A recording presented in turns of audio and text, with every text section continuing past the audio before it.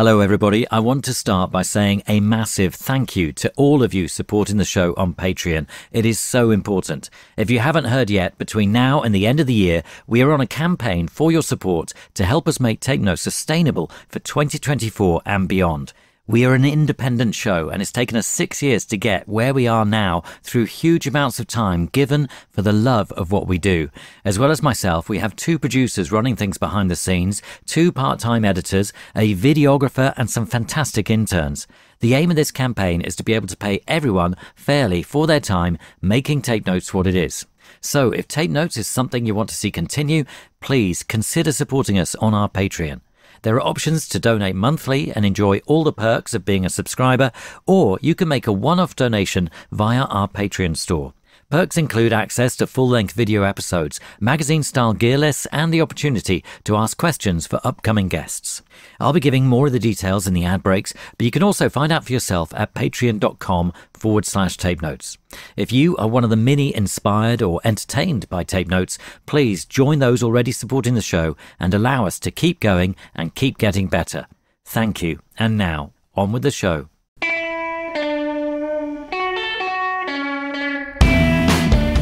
Hello and welcome to Tape Notes, the podcast that looks behind the scenes at the magic of recording and producing music. Every episode will be reuniting an artist and producer and talking through some of the highlights from their collaboration in the studio. So join us as we lift the lid on the creative process and the inner workings of music production to see what lies beneath.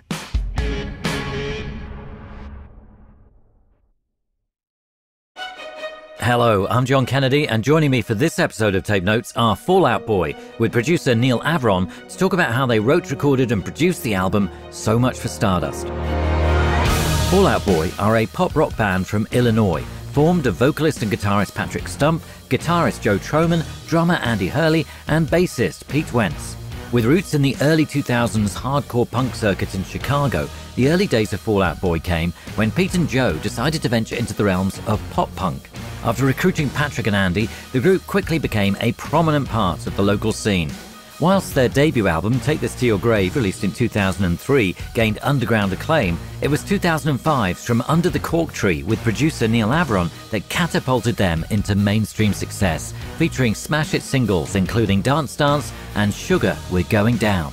Their first number one record came in 2007. As well as topping the charts, Infinity on High gained the band a loyal following and saw them solidify their presence as major innovators across both the US and international rock scene. Throughout the 2010s, the band began to venture into different territories, incorporating elements of R&B and electropop. But in 2023, they returned to pop punk heavyweight label Fueled by Ramen, revisiting the roots of their sound with their eighth studio album, So Much for Stardust. Neal Avron is an American record producer, mixer, and musician. Neal began his musical journey as a jazz trumpet player and graduated with a music engineering degree from the Frost School of Music in Miami. Gaining experience in the prestigious studios Sunset Sound and Criteria, he refined his skills learning from some of the top engineers and producers of the day. Since his debut as a producer on 1997's So Much for the Afterglow by Everclear, Neal has shared his talents with artists including 21 Pilots, Walk the Moon, 30 Seconds to Mars, and Blink 182. In 2010, he created headlines when he worked on albums that debuted at number one on the Billboard charts for three consecutive weeks. Disturbed's Asylum, Linkin Park's A Thousand Suns, and Sara Bareilles' Kaleidoscope Heart. For his production work with Sara, he also received a Grammy nomination. Having collaborated with Fall Out Boy on three of their earlier albums, From Under the Cork Tree, Infinity on High, and Folie à Deux, in 2022 they reunited, setting to work on So Much for Stardust. Today, I'm at home in Morden, South London, and I'm joined by Patrick and Neal from their respective homes across America. And what better way to start the conversation than by hearing something from the record? This is Hold Me Like a Grudge.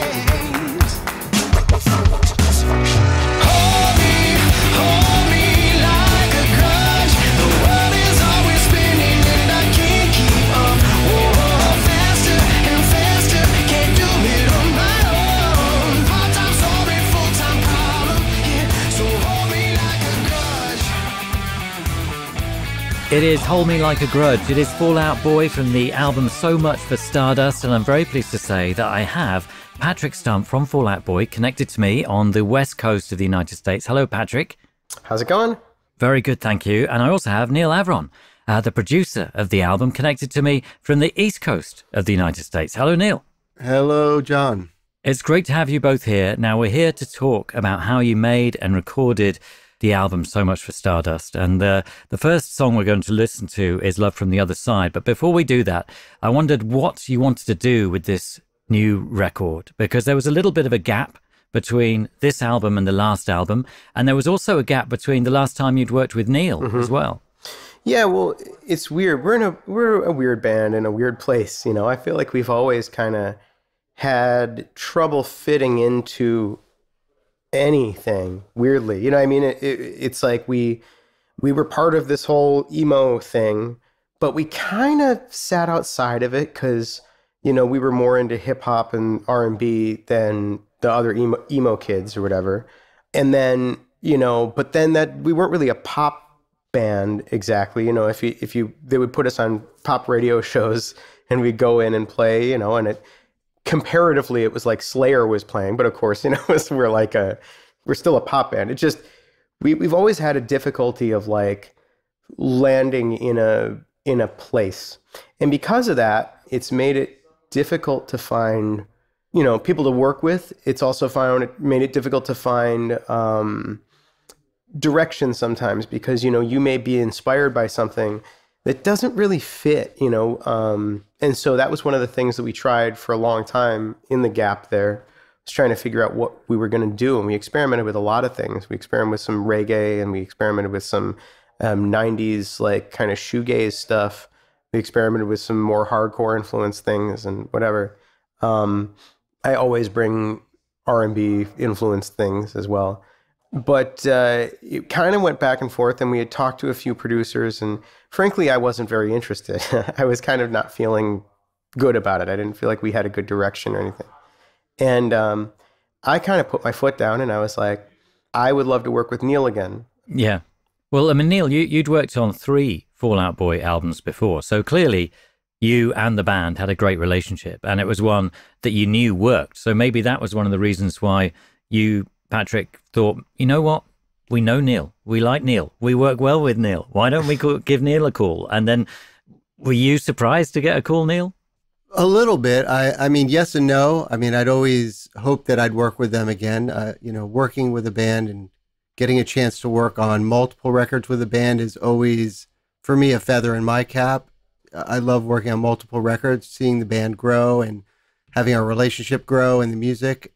I think that originally, I think their manager called me to say, Hey, I know you've been only mixing pretty much, but are you interested in producing again? And and that kind of started the ball rolling. And then Patrick and I got on a conversation as well. And I think it kind of really started like, hey, let's do a few songs together and see how everybody's feeling.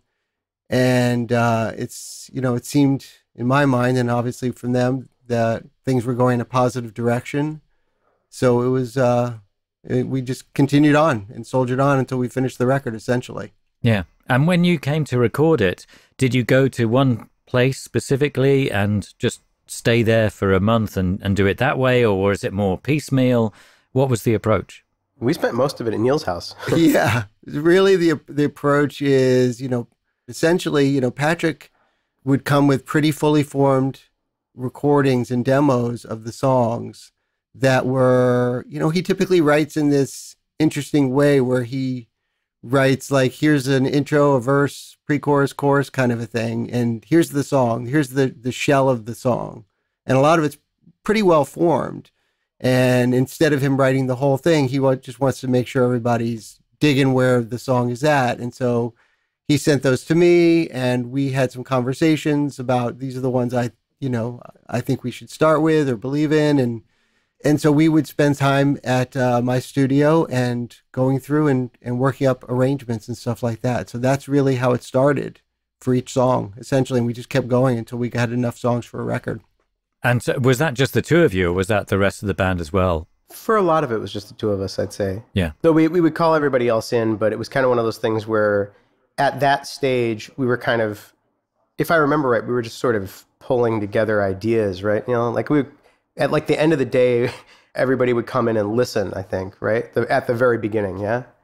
Yeah, absolutely. I think everybody had a, a piece. Either, you know, I think we would send some stuff to Joe or Pete would come in to take a listen.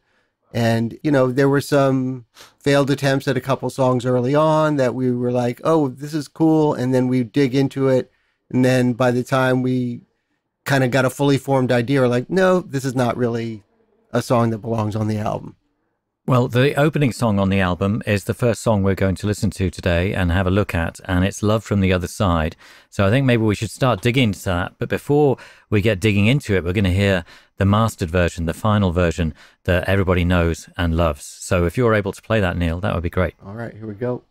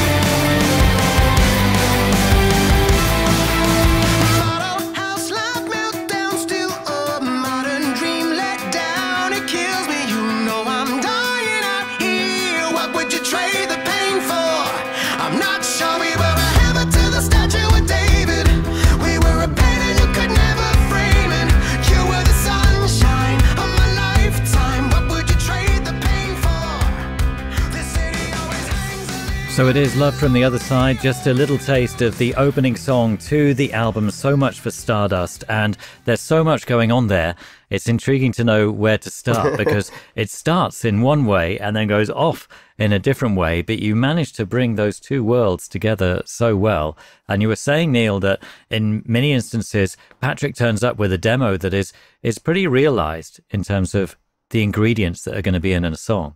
So am I thinking that all those string parts and all those delicate uh, glissandos are, are, all there on the demo, or is that something that gets thought about afterwards? One of the demos. Well, actually, I, Neil and I were talking about this. We, we, we we'd love to play you uh, some versions. Uh, but so the background of this song, um, you know, as we were trying to kind of crack the code of what we were going to do with this album, one of the things that was very difficult was so, you know, um, for a lot of people, if they don't know, you know, I tend to write most of the music, and then Pete, our bass player, tends to write most of the lyrics. And uh, as a function of that, you know, I'm not writing the lyrics, but I do have a lot of control over how they get used. And over the course of the previous couple records, I had gotten, I don't know why, I gotten obsessed with streamlining his lyrics in choruses to be a little bit like Pete is very wordy. He has these ideas that are that take up a lot of space, you know. And I felt like for whatever reason I had been, you know, I don't know, just going back through 70s records and and thinking about the simplicity of some of certain lyrical concepts and like kind of aiming for that. And uh, our manager sat me down at a lunch and he was like, he's like, hey, don't do that. um, he said to me, he's like, you used to ramble. You guys used to ramble a little bit. Why don't you ramble? And I was like, I don't, okay, you know. So this was the first song I wrote after that conversation. I went back and um, it's kind of stream of consciousness in terms of the way that I just followed the lyrics, but I was also playing with a lot of things that, you know, I was like, we haven't worked with Neil in a long time. Um, you know, we're we're 22 years in as a band. You know, how many how many how much longer do you get to put out records and have anyone care about them? Um, and so I was like, uh, let's. I want to try a bunch of the things that we never got to try. So the meat of the song from once the band starts. So before after the we'll we'll deal with the orchestral section later, but once the band starts, that pretty much is was established right away. And it was established, you know, in my first demo as a thing of like, I kind of just followed whatever I was feeling, you know, and, and, um, basically a lot of these things in this song were things that you know, years of, of working in pop music had kind of scared me off of doing, you know, once we get to the chorus, that's not what you do in a pop song is, you know, a very long, I mean, it's a, it's essentially a paragraph chorus, you know, but, uh, but then once I found that lyric of pizza, every, every lover's got a little dagger in their hand. I was like, that just, it all tied together. And it was really funny. I was demoing it and I remember, you know, singing that line and, and eagerly, uh, emailing Neil, like, listen to this, you know? Wow. That sounds amazing. So, I mean, are you able to share any of, of that? Well, before we do, I also want to point out a caveat that Neil reminded me of. I totally forgot, but my very first iteration, because, you know, Fall Out Boy doesn't get to do, just as a function of, I think, the way we came up, we don't really tend to do a lot of fun guitar stuff. So I really wanted to do something guitar present. So I don't know, Neil, if you want to play my first pass. Sure. I'll play just uh, a little bit of the intro, essentially.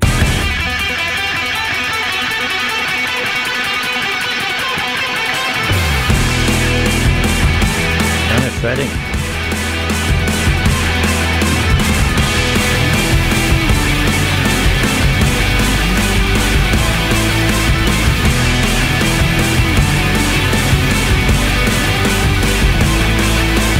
Model house life meltdown So, a very different intro. Yeah. And uh, instantly, you know, I, I played it for the band, I played it for Neil, I played it for management, and unanimously everyone was like, "We love it," except the intro, obviously. um, and uh, and I was like, "Okay, uh, you know, um, no problem." And then I was like, "Well, what else did I want to do? Uh, what else was I have I always wanted to do?" And one of the things was that the last time Neil and I worked together on an album was uh, Folie à Deux, which was kind of a, a very weird record for the band, and I don't know, ha fits in this very weird place in our history. And one of the things that's very strange, you know, Neil and I, I think, lost most of the demos for that record, but there was as weird as that record is, as the finished record is, the demos were were even weirder, and there were it was so expansive and strange. It was practically psychedelic at times, just really there were there were moments on on some of those demos that felt more like a Herbie Hancock record than a Fall Out Boy record. So uh, there was a thing that I wanted to get back to of kind of that experimentation because that was something that was really fun about working with Neil in the the old days was that we um we would do studio stuff, you know, in a way that a lot of bands that I know just didn't, you know, and there's nothing wrong with that. And we didn't for we hadn't since we worked with Neil, where we would, you know, spend hours trying to dial in a, you know, synth clap delay, you know, or whatever. And, you know, but I mean, all hardware stuff and, you know, placing mics in, in weird ways to have strange effects and just, We went we went on a shopping spree Yeah. and and uh, Patrick bought like this old PA system that we set up. I don't know if you remember that. Mhm. And we were using that and we were sending tons of stuff through that and and yeah, it was a lot of experimentation. it was very open to experimentation. And I was like, okay, so now we've got the meat of a song. How do we get into it? How do we start a record? Because that was the other thing is that by this point, I had felt like we had had the beginnings of a record, but we didn't have an opening. And I really love openings of albums, you know. I, I think I've been trying to write my Baba O'Riley, you know, for my whole life. You know, that's like the way I see a record starting, right? And uh, so I was like, okay, one thing that I always wanted to do, and I tried on Folie and it never happened, was a piano phase. Uh, you know, like a Steve Reich piano phase, where you have a, a loop, a looped phrase that's playing at the same time in multiple different tempos. So it started from that. I I played this one piano line four times at different speeds, and then I took those and I and I looped them for you know 20 minutes or whatever and you know this isn't uh, an avant-garde record so i don't get to just put out 20 minutes of, of piano phase but so so to, to, to kind of bridge the gap there. Then I listened through to find like a, a couple bars that I thought were really exciting and kind of transitioned between the beginning and that. So if you listen, the piano starts out and it's all kind of in the same tempo, and then gradually the four of them start to you know cascade and get all you know muddled, and then it transitions into what sounds like delay. It's it is four different performances of it at different speeds, and then the kind of drama of the the orchestral section kind of built around that. Very interesting. I mean, I think we need to hear some of these pianos then, if possible. Yeah. I mean, do, you did a demo of that and then Yeah. redid it, or was the demos kind of strong enough that you just went with that? No, we re- we actually on this record, I think we really didn't keep much of any of the demo stuff. You know, and my demos were pretty decent. Um, but then Neil was like, "Yeah, but I know Jerry Hey," so um, you know, So yeah, I can play a little bit of the just the piano, so you can kind of hear where it, how it evolves. That would be great.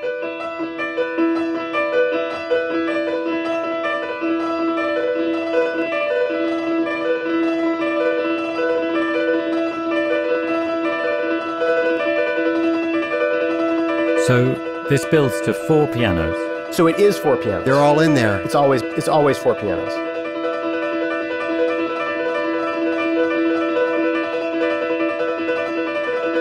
So around here, I'm jumping ahead to to a much further section of it. So, but you know, imagine I'm playing the same line. I'm playing a bar of the same line at whatever BPMs this is. If it's, I don't remember. But if I'm playing a piano line at 120, and then I play the same line at 121, and then I play the same line at 122, and, and the same line at 123, and I start them at the same time, for the first few bars, they'll be relatively in sync, right? And it'll sound kind of normal. By the end of the second bar, you'll start to notice some of them are lagging, right? And by the fourth bar, it's like blah, blah, blah, you hear a lot of flams and whatever. By the you know 17th bar, you start to get these really cacophonous, strange sounds. There are these moments in there. It's really hypnotic. It does all these weird sonic almost illusions and things where you hear sounds that aren't there and stuff. You hear, you know, almost drum sounds and things, or or you hear bass frequencies that aren't there. It just it's just resonating on all these things, and then it goes on to something else. So I always loved phases as a thing. I always found them very fascinating. So I was like, I want, I would kill to have one on a Fall Out Boy record, and this was my little way of getting it on there. Yeah. And who is playing all of those? So, uh, y- that is me. That's Patrick. so Patrick, you're playing. yeah, I'm playing the piano there. Yeah. So in a parallel universe, there is a Steve Reich, uh, Patrick Stump album yeah. that could come out I mean, and and you know could be performed, you know, with four different pianists. yeah, maybe one of these days when I'm um, when my voice is too haggard for um, rock shows, you know, that'll be where I go. And so, having got this idea and set it up, then you know you you try to bring in all this other stuff. So you you want to bring in orchestration. You also want to bring in the band. How easy was that plan? That was the easy part. So I've been scoring film and TV for the past eight or nine years. So I've been dealing with orchestras and um, writing for orchestras, and you know, I want some drama. I want because that's the thing is that when I look back at our our records, our best ones start off with a kind of sense of melodrama for some reason. You know, it's just part of our our milieu, part of our vibe, I guess, right? And I was like, okay, well, you know, now this is us 22 years in what does that drama sound like now you know if you get the sophistication of you know all the stuff that we've learned all the all the abilities that we've attained you know also not for nothing you know it's not like neil is frozen in place either neil was already a fantastic producer but now he's because when the last record we did was um, what was it 2008 i mean he's that many years wiser as well so like i was like we can push this so much farther you know So what should we listen to next that would Well- help explain what you did? So maybe we could play.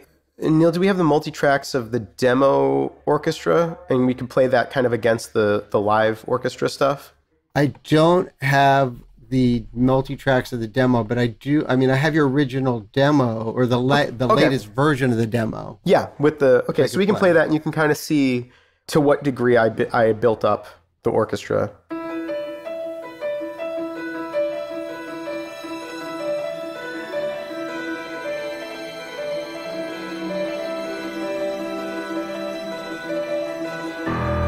And oh, we took that out. We didn't like that uh, low bass note.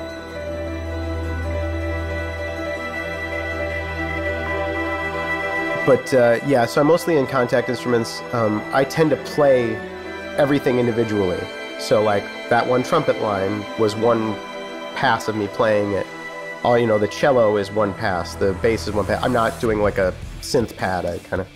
You can see it's pretty. It's pretty close to what we what we hear in the, in the Yeah. finished.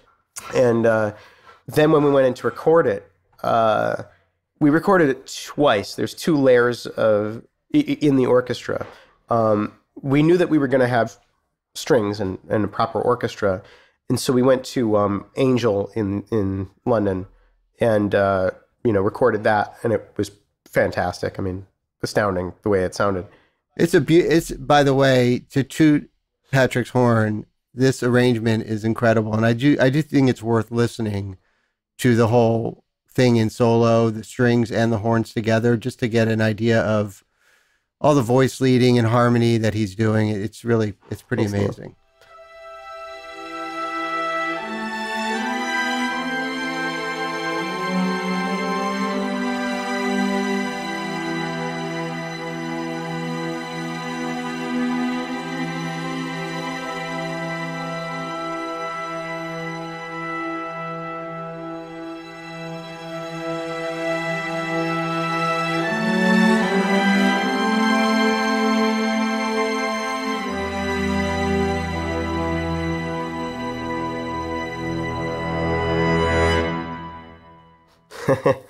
And and so we did that with an orchestra.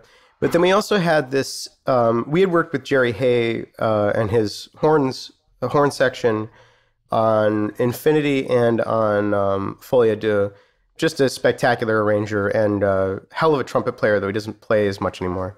And um, so we had we had some sections on the record that were more like pop horns. And uh, so we had you know contracted him to do those. Well he shows up and he was like you know i went i took the liberty of also doing of also arranging the the orchestra stuff too now he had four players right but those four players were extraordinary i mean we're like other level there's a trombone player bill reichenbach and um, a, a trumpet player uh, wayne bergeron so these four guys, in addition to the orchestra that we had, I mean, it went. It, w- was like this to this. It was extraordinary. There was a there was a trumpet line. I think it was playing on the left channel. Now, I like I said, I'm doing this all in Kontakt. A function of that is, you know, I'm a composer, but I it's not like I've spent decades in you know in front of an orchestra or you know I didn't go to conservatory. I don't have committed to memory my you know the the comfortable ranges for players. I, I know what they physically you know what's possible.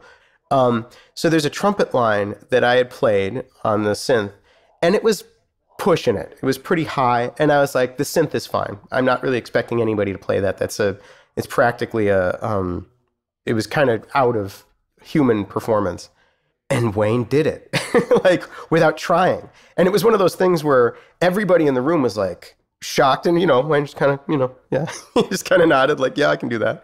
And like I said, the orchestra at Angel was already excellent, but then adding those guys in was just like it was one of the coolest recording sessions I've ever done. May, are are we able to hear that that trumpet yeah, line? do we have just Um, I th- I think so.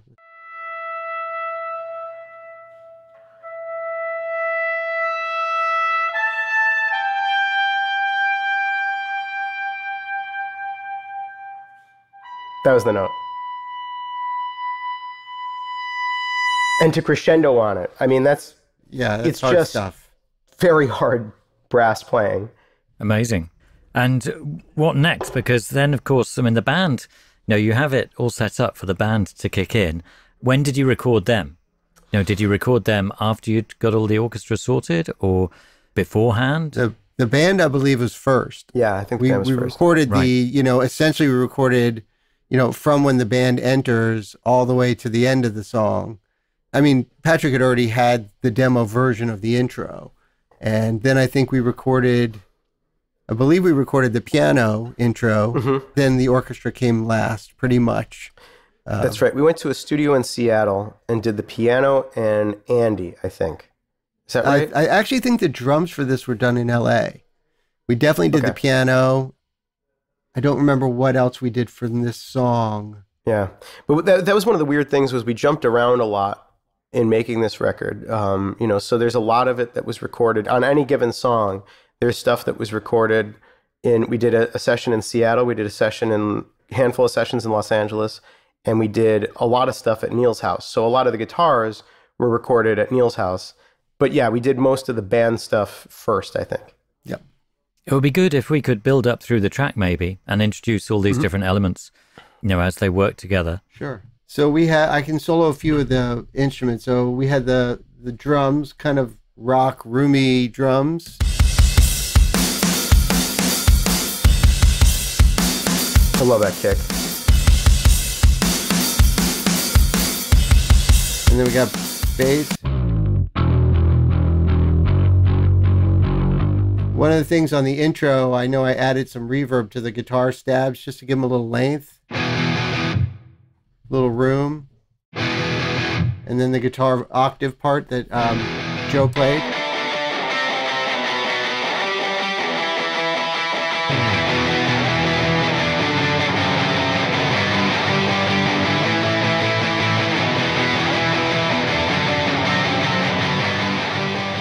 really cool contrary motion going on there between the guitars. The, the the octave guitar is coming down the scale, and the and the rhythms are going up.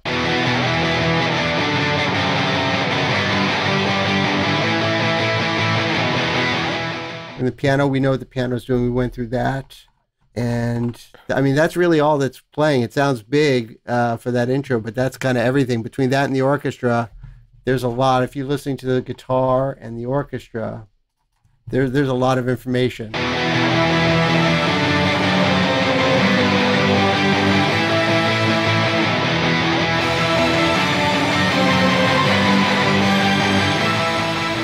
And then in the verse, uh, I think we're coming down to a single guitar here. Oh, there's also an acoustic doubling it. I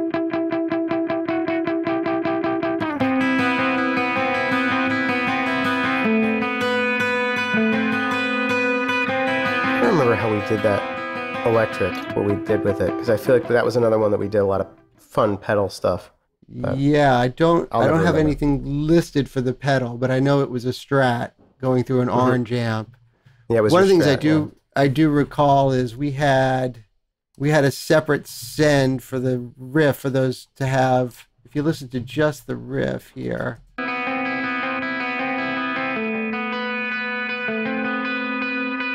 so we had those little reverb splashes to accent those high notes, and it kind of brought it in stereo and a little bit more otherworldly. But um, that was that between that and and Patrick's vocal that really just drives that first verse. Model house life meltdown, still a modern dream let down. It kills me, you know I'm dying out here. What would you trade the pain for? I'm not sure. we And then the band comes back in with the the bass for this back half.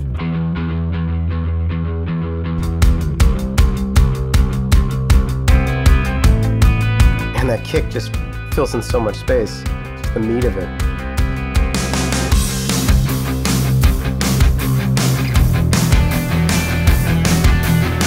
That's the line I was talking about that was kind of served as a uh, as a harmony to the uh, vocal. Yeah. Things a little bit lonely, hold me loose. Like playing, pretending his father's suit. Yeah, that's great. Yeah. It sounds amazing hearing all those different parts because the interesting thing is when you listen to the album, Love from the Other Side really sets it up in a nice way because on the one hand, you kind of get a little bit of the orchestra. You think, okay, there's kind of this spectrum of sound on this new record. But at the same time, it kicks in and it really rocks. You know, it's it's kind of straight ahead.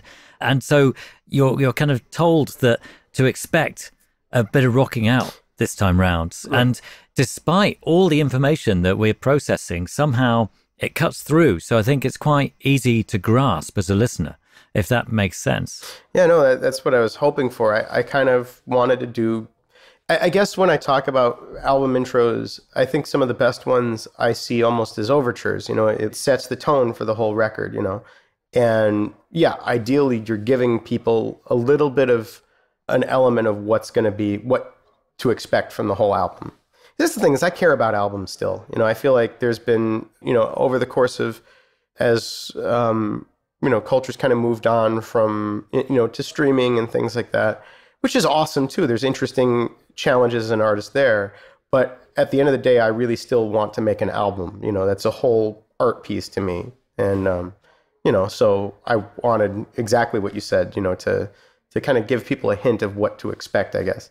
Yeah, and it and it works really well as an album because there are ups and downs. There are different things to to attract our attention, and and you kind of take us on on a little journey, and you you simplify things at times so that we have a a, a reprieve in a way from all the information that we're getting, and, and you kind of reset us a couple of times. I mean, particularly in the middle with the pink seashell track, you know, that kind of stops everything for a moment, and then we go back in.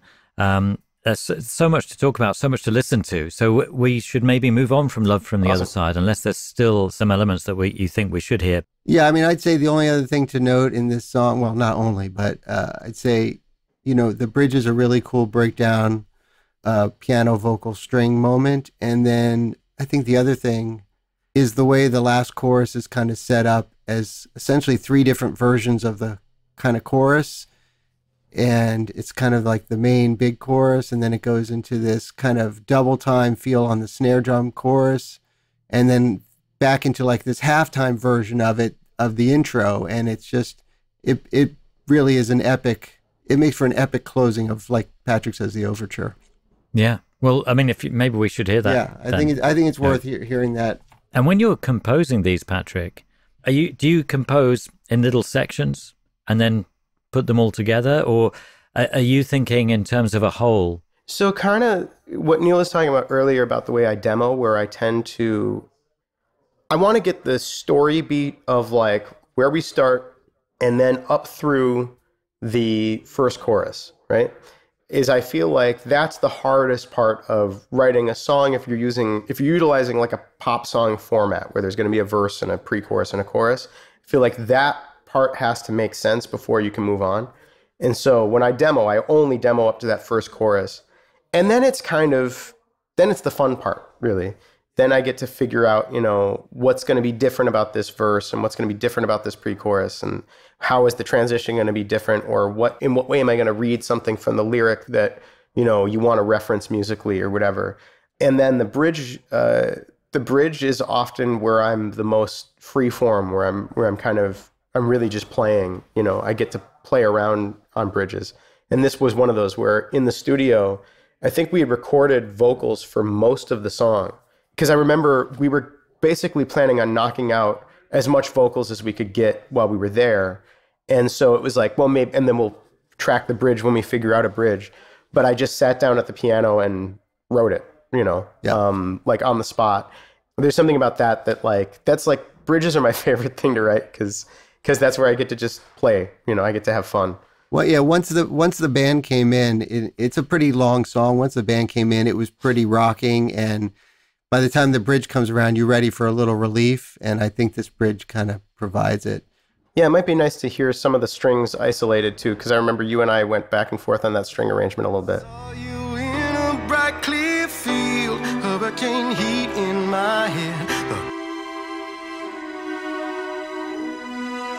That one section, I wish I could write again. So I feel like there's a there should have been a, a line going with the cello, but otherwise, I, I'm happy with that string section.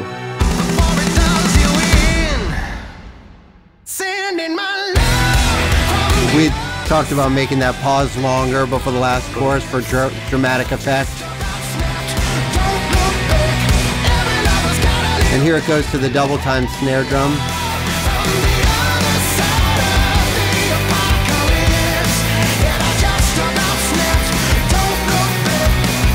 Reprising the big intro.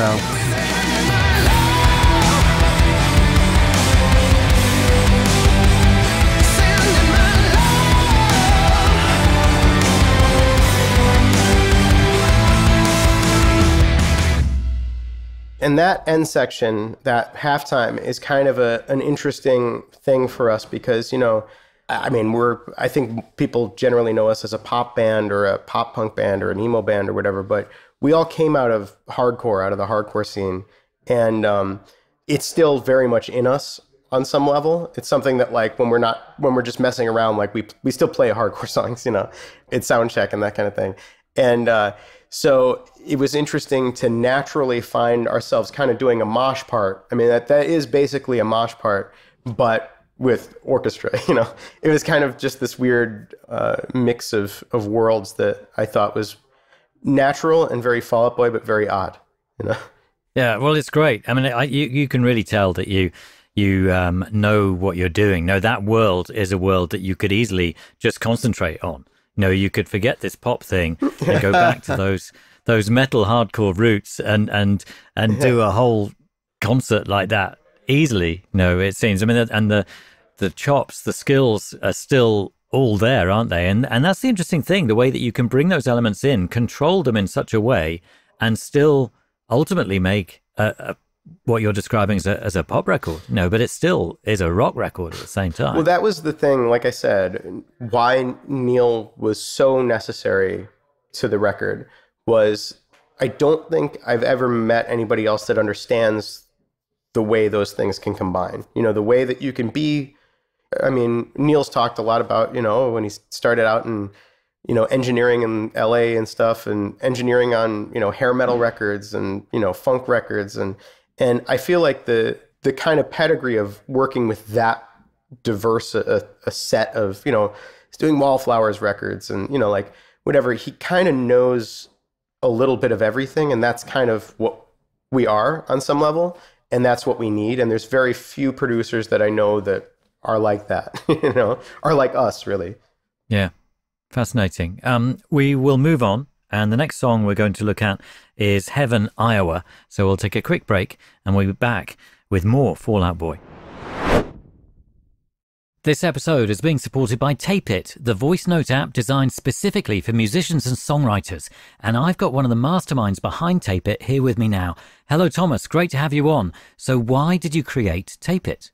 Hi, John. It's great to be here. Um, we created Tape It because we know so many musicians and songwriters that record their song ideas on the phone all the time. And pretty much everybody uses Apple's voice memos for it. And it's so easy to record something, but you never find anything again. And so I called my old bass player Jan and said, Jan, this is silly. Why don't we build the software that we want? And so over the last three years, we fixed a lot of small things. We made it much easier to find recordings. There's automatic instrument detection. You can attach notes, text notes. You can attach photo notes. You can take a photo of your pedal settings, of your synth preset. You can set markers. You can record straight from your lock screen. And then we made it really easy to listen to long recordings and skim through them. So loads of small things that sounds brilliant. So many of the artists that we talk to use voice notes to record their ideas as they're having them. And yet they often have that very problem where they can't find the voice note. I mean, even within the episode as we're recording it, but to have all those features inbuilt sounds fantastic. Yeah, it's exactly that. And so I think we fixed that and we made it available for free. No ads. You can just go to the App Store and download Tape It, and your organizational worries are gone. And then there's a completely optional paid upgrade. And the paid upgrade changes the recording quality. What we do is combine two microphones on your phone, and then we apply much gentler dynamic range compression. And instead of explaining you the sound, let me just play you two examples. The first one is a vocal line and voice memos, and then we'll listen to it and tape it. We'll see the walls come down and we'll breathe in. Will you walk with me? Will you walk with me? We'll see the walls come down and we'll breathe in. Will you walk with me? Will you walk with me? There you go. Same phone. Wow. Well, it seems to me like a no brainer to be downloading Tape It, but we also have a special offer for our Tape Notes listeners. You can use the extra features for an entire month, no strings attached. Head to tape.it slash tape notes. That's tape.it slash tape notes. Thanks again to Thomas, and now on with the show. The next song we're going to look at from So Much for Stardust by Fall Out Boy is Heaven, Iowa, and Neal will play a little blast of the master before we get digging into it.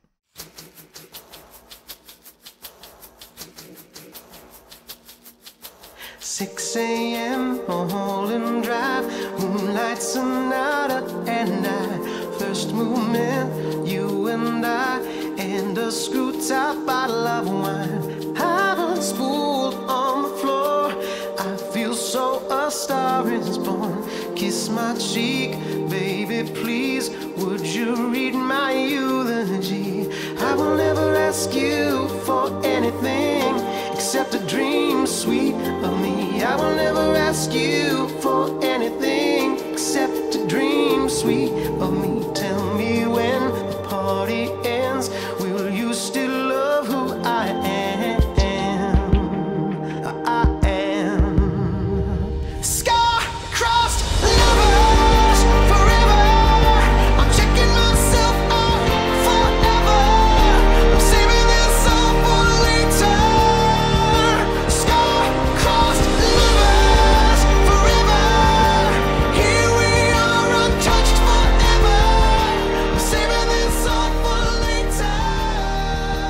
It really does go so big there. That is a little taste of heaven, Iowa by Fall Out Boy, and that's a pretty good example in a way of of the R and B and rock elements coming together in a way. You know that multi-track mm-hmm. vocal before you go for the star-crossed lovers, then and when that comes in, it sounds so so rock, but you put it in a different context, so it has a different feel, and that's something you've done for so well since you began, really.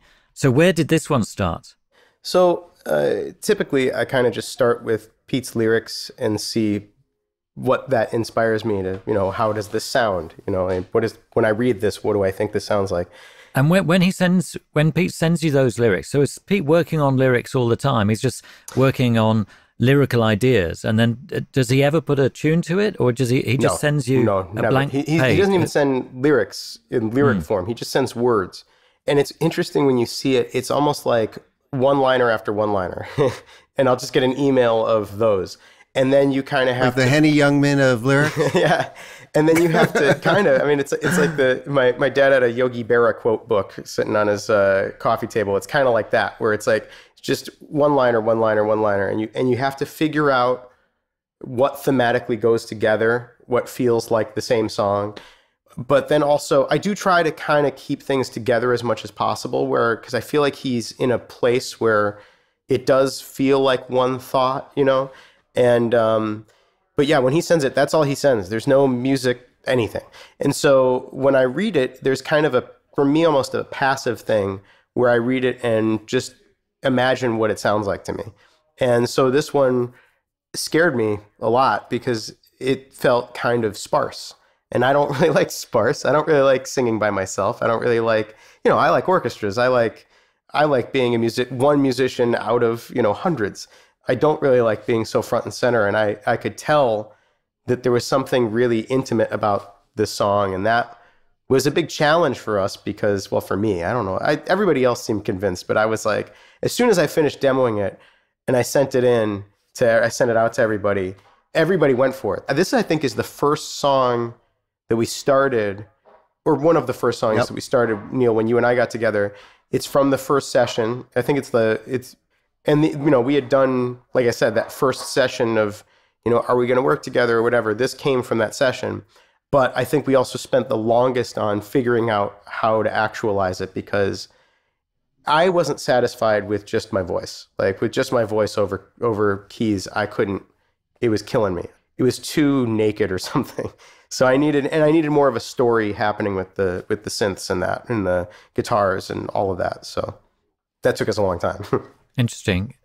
And uh, is Heaven, Iowa, a place? I believe so. I believe it's. I don't know if it's real or not. I believe it's the place from um, Field of Dreams. Pete was really obsessed with Right. Field of Dreams. There's something, something in that story that really, like, set his vision for the whole record lyrically. I guess.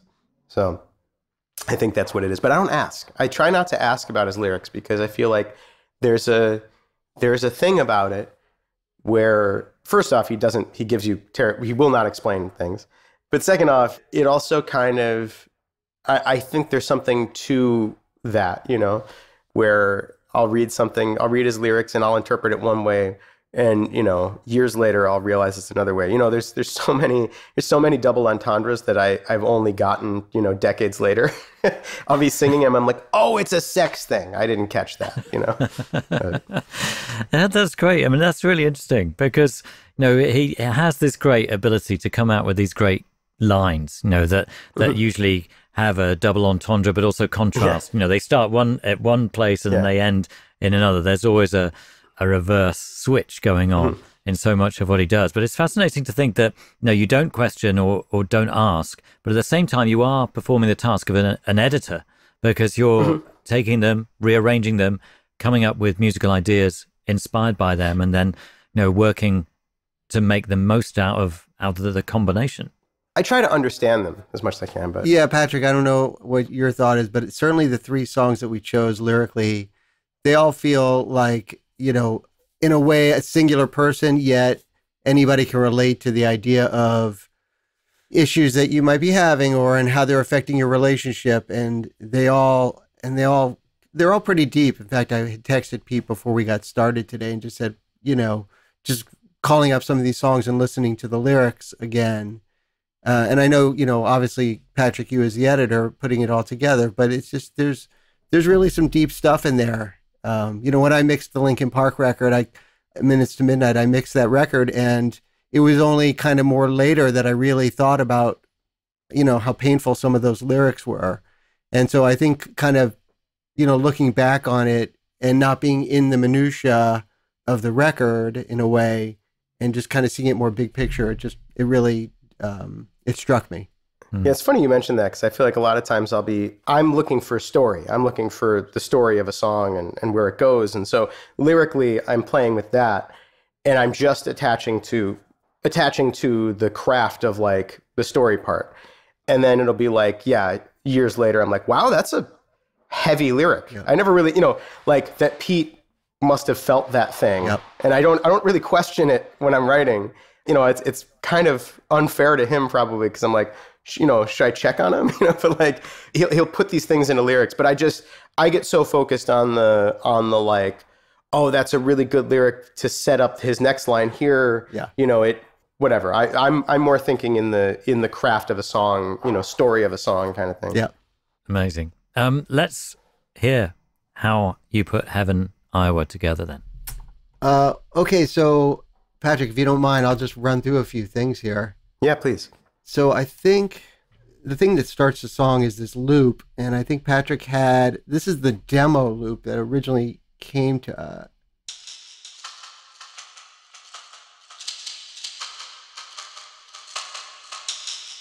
And I think that demo loop was some was some loop, you know, was some like splice loop or something that I had right. that I, I was just looking for I was literally at this stage of demoing. Like so, you know, it's it's interesting. Sometimes I, I demo things out fully. This song I had a little bit less of a sense of because as I said, I was a little bit scared of it. So I wasn't really thinking that strictly about what it was going to sound like. So I just put in some loop, you know, I didn't really think twice about it. And we found as we were going through recording that that specific rhythm worked really well. But then I didn't want to just use some stock loop from a sample pack or something. So Neal and I kind of meticulously made our own, you know. Yeah, so I'll just quickly go through it. This is this is the original recreation of the loop here. Some of this are are other sounds or loops, and other things are us playing live instruments or Patrick playing a shaker or something. So there was this this loop. And then on top of that, and all these elements, there's a shaker, and then like an atmosphere, and all these just different If I remember right, that was something that I had found like a, an atmosphere, an atmospheric sound, like a white noise sound kind of thing, and I played it on a synth. You know, yeah so all together they kind of made this kind of interesting atmospheric version of that kind of concept of the loop and then we also did kind of a maraca loop to go with it to add a little bit more Mhm. percussion um, attack to it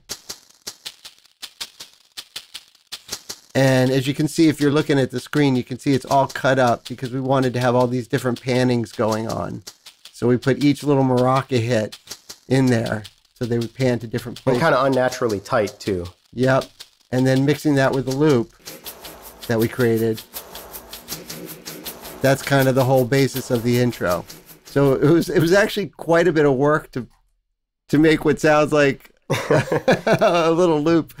Uh, but it's kind of funny in, in looking back of the history of that loop. So that that kind of started it. And then um, I think this is I I think actually a lot of these maybe this is an original loop or a pad. Is this this is original from the demo? Yeah, so basically we just kept layering. We just kept adding things. So I did my my synths on the demo, but then over the course of it, we would just I was just never satisfied with the the journey of the sound. I wanted things to kind of appear in and out and kind of swell in and and um I, I we just couldn't get enough things in there. And I would t- every day I would tell Joe I was like, go nuts, you know, send what you have. And so Joe would do like a kind of thing, or I would go through the synths. Uh, Neal has some synthesizers at his house. I have a lot of synthesizers at my house, and I would kind of just find noises. I would spend like every day on the recording, at least once a day. I would just fiddle with something and see if I got a layer that we could add to this song because I felt like I just wasn't getting enough noise, enough motion. You know, I wanted it to feel like um, I always liked. Um, I mean, everybody likes Peter Gabriel so.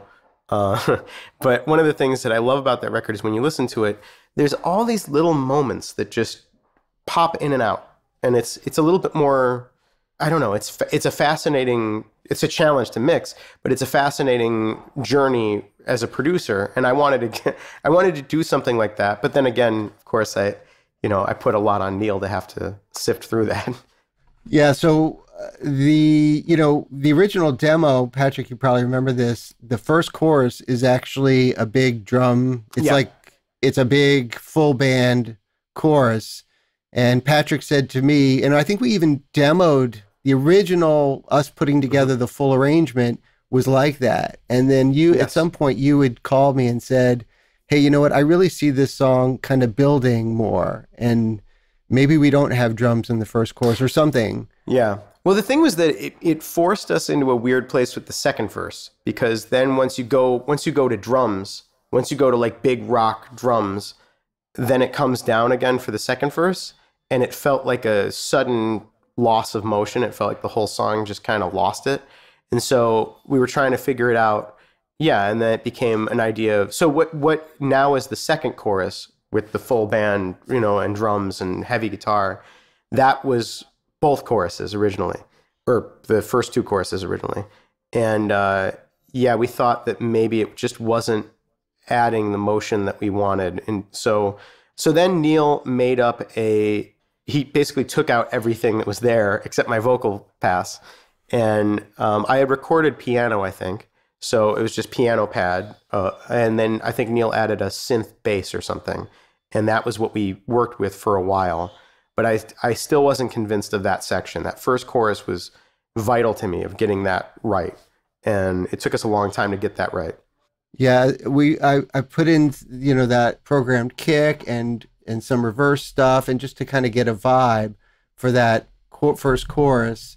And it was very late. I think we were actually in Seattle when we did a lot of that poly evolver. Yeah, well, Uh, that was what saved it. Yeah. Eventually, it was the polyevolver. One of the things, uh, just backing up real quickly here in the in the verse that I thought was cool was um, the way Joe was playing this very ambient guitar pedal, and I thought it really worked so nicely with the vocal and how it Yes. interplayed in between all the lyrics. And so I just wanted to play a little bit of that. I thought it was cool. I will never ask you for And these are the kind of things that I thought saved a lot of it. sweet of me. I will never ask you We solo Joe. anything.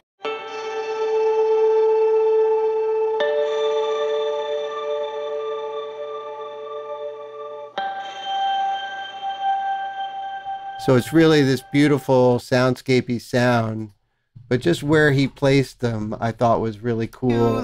G. I will never ask you for anything except a dream sweet of me. I will never ask you for anything except a dream sweet of me. Tell me when. Yeah, and I just thought those placements were super cool. And Yes. he was just really paying attention to the, the vocal, and I thought that was good. So that's something you see when bands have kind of grown up. They're, you know, it's not just about I'm the guitar player, I'm paying attention to my guitar, I'm paying attention to other things around me in the arrangement and to make the whole the whole thing better. Yeah, and and I think um, I, I also love what he does with pedals and sounds and things. He he spends a really long amount of time figuring out. You know, it makes for a really interesting thing in a scenario like this, where I say like, I need something. I need something atmospheric. I'm not. I'm hitting a wall. I'm not finding the thing to add. And then he comes with something like that, and it's you know, it's perfect. It's great. It really it really stepped it up. Yep. And then going to the first chorus, um, let's see if I can kind of just play musically what's happening. So there's some of Joe strumming on the downbeats. And then there's the piano.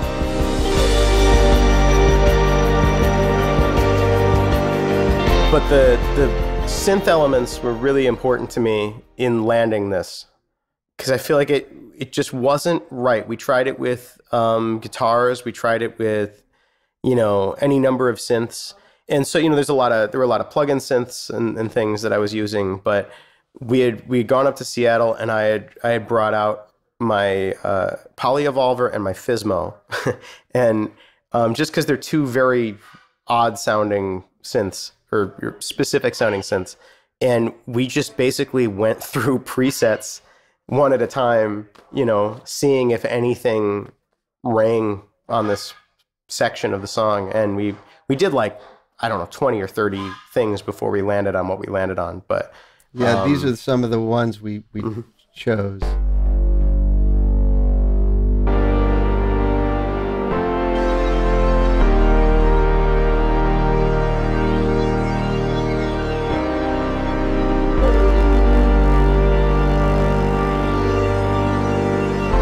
I forgot about this one.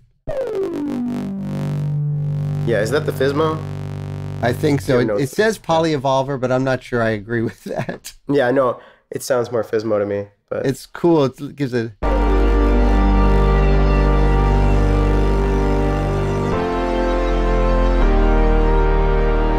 And then on top of that, Joe's guitar. yeah,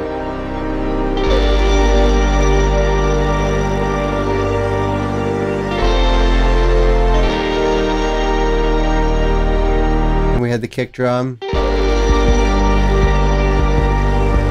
now that was a kick sample you had, Neal. Yep.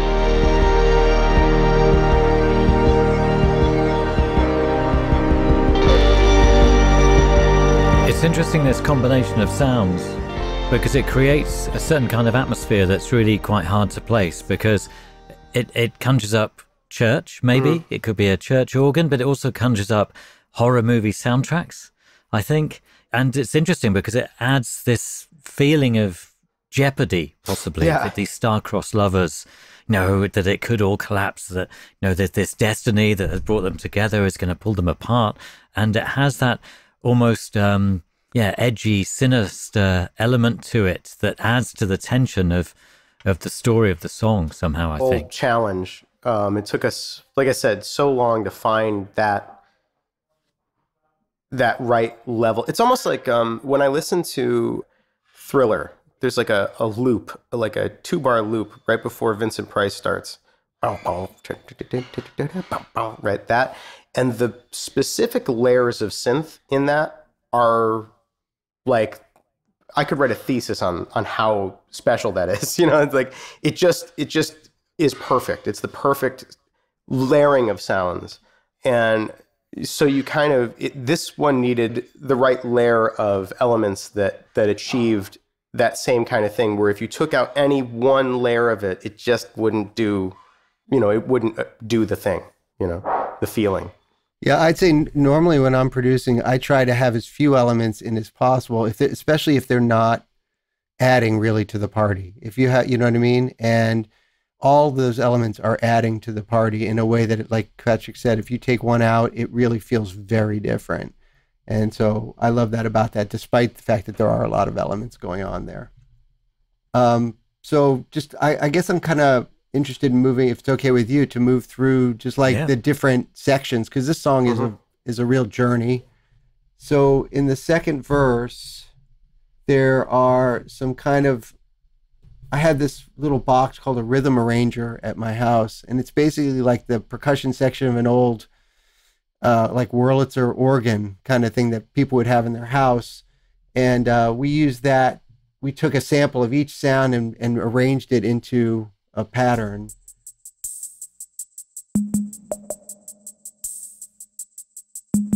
So that was kind of a basis for the rhythm section for the second verse, along with the bass thing. And of course, the loop is still going through here. And then we had some guitar. It's got some kind of pedal on it, maybe a phaser. Or, Was that your uh, Strat again? it doesn't say, but it might be. And then there's, you know, a couple other effects. Those are Joe.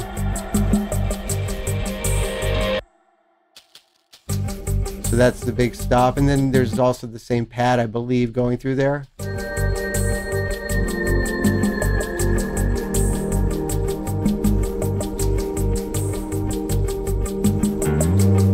And then there's a little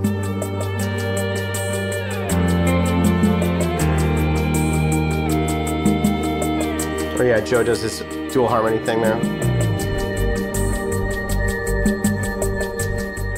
And then that I think is synth. Or is that is that Joe or is that synth? No, I think that's Joe's synth Okay. that he added at the end. I'm pretty sure. And then halfway through the verse, we added these drums. And when we did this, we set up Andy and I with uh, is it concert toms or is it were they like rototoms almost? You one one guy had rototoms, uh, uh, and That's the other right. guy had like concert toms. Yeah. So we and we played that together, which I, I like. I really love the the way it sang in the room. You know that we were playing. It wasn't like an overdub. It was that we played it all at the same time. So that's the two of you. That's you, Yeah. Patrick, and Andy Mm-hmm. Yeah. together. Double drummer. One, one of Mm-hmm. the cool things is we used a, a harmonizer to tune the drums down so that Mm-hmm. they would sound even more just kind of affected and cool.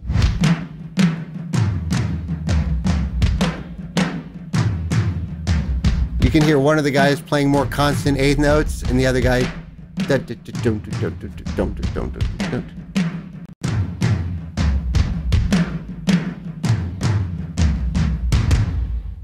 And so that that was um, that was fun. At, you know, adding that into the second half. So that that whole verse is a real journey of all those different elements, and then you can kind of I'll play everything together with the vocal. And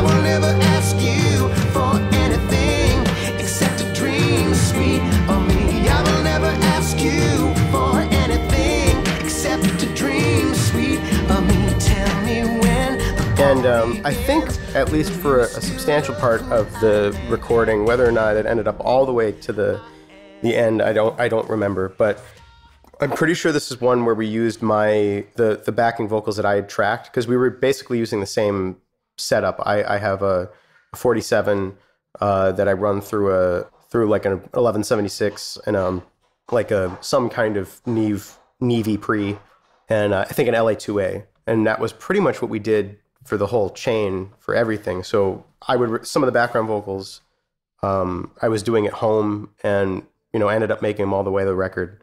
Right. And and did you use that for your lead vocal as well? Yes, I pretty much that's Yeah. that's like my standard, and you know depending on the on the performance, I'll change um, attack times and things like that. But otherwise, it's pretty much that.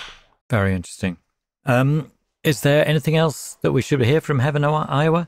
I guess you could play the last chorus just showing what's there. I mean, this is the original idea of what the of what the chorus was was like a big, you know, heavy guitar thing. Okay, I, I'd also love to check out show the bridge a little bit because I think Okay, yeah, Joe's sure. part in there is really cool. Yeah, Joe. So that was a. So Joe, like I said, he was sick and he couldn't really come into the studio all that all that often and whatever. And so he was a little bit of the at-home player, you know. And on this song in, in particular, I told him to just go nuts because I had I had an idea, but I needed more layers than I could possibly think of, you know. Um, I just wanted so many layers of things for this little journey. And the bridge, I think, was a really great confluence of the synth thing and the guitar thing that I was doing, and then what Joe brought in. You know, it really came together.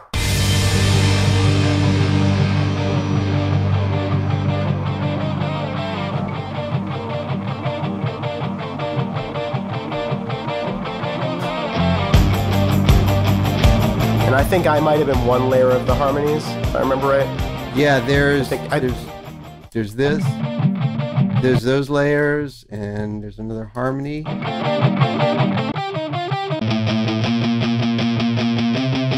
So there's that, and Yeah. is that you or Joe? I don't remember. I think, if I remember right, that was Joe. That was one of Joe's. I, I had had something playing the playing an identical part, but I liked his sound better.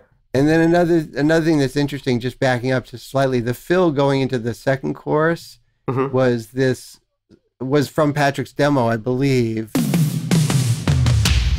So it was kind of this synthy drums, and the one going into the chorus, the set third chorus was a combination of that with the rototoms and concert toms that Patrick and Andy were playing. So there, you know, those those harmonized drums, which I thought was cool to kind of bring everybody together before the last chorus. Now, Neal, when you harmonized it, did you harmonize the entire chain, or or is like the room? Because it almost sounded like um, like one of the like maybe a room mic or something was in the original tuning or something. I'm pretty sure it's all the whole kit is just harmonized. Okay. I think we mixed it down to a stereo track and then Okay. and harmonized it. Um, all right. So yeah, let's talk through. I guess let's go through the last chorus. There's not much to it. It's just kind of again kind of a, a you know an example of what else we do on this record, but also just in general. You know, to Neal's point, usually Neil likes to work with very few elements and just blow them up, and so that was kind of the the choruses were like that, the latter choruses.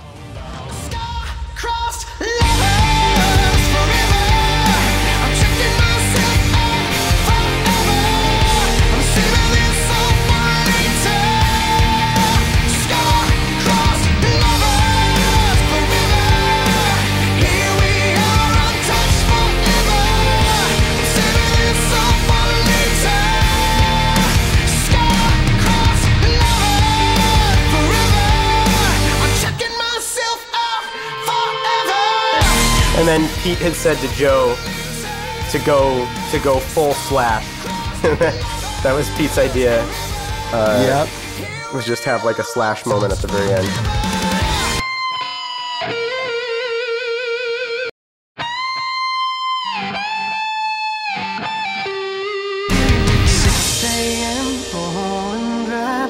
And then just to finish up the the song, just went back to the intro, that first line of the song, kind of bookend it. Yeah.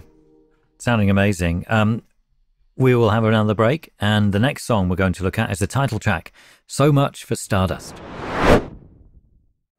Hello, sorry to interrupt your listening. I hope you've been enjoying the episode. As I mentioned earlier, I wanted to let you know more about our Patreon and how it works. As well as one off donations to help support the show, we have three separate tiers which you can subscribe to. Perks include access to full length video episodes, magazine style gear lists, and the opportunity to ask questions for upcoming guests. So, if those perks sound good to you and you'd like to help support the show, we would love to see you over on the Tape Notes Patreon. Thank you, and now on with the show.